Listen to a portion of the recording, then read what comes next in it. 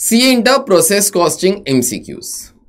Assume that 550 units were worked on during a period in which a total of 500 good units were completed. Okay. Normal spoilage consisted of 30 units, abnormal spoilage 20. So it all tallies. Out of 550, 30 was normal loss.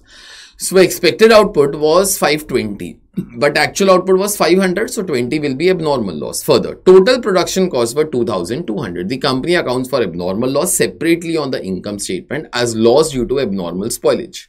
We also do that only beta. We account for abnormal loss separately. Normal spoilage is not accounted for separately. We also do not account because normal loss gets absorbed by good units.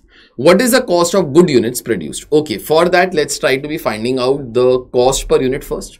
So cost per good unit, okay, cost per unit produced is direct material, direct labor, direct expenses, factory overheads, that is 2200.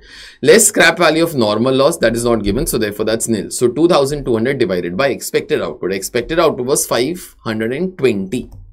So 2200 divided by 520, this will give you cost per unit into multiplied that thing by they have asked you cost of good units. Cost of good units that were produced were 500 okay. So multiply that figure by 500 so accordingly it will be 4.23 into 500 so therefore in this case answer is going to be 2115 let's look at our options searching for 2115 a is not the correct answer B is the correct answer. C is not the correct answer. D is the correct answer. So answer is B over here. Yeah, that's the correct answer.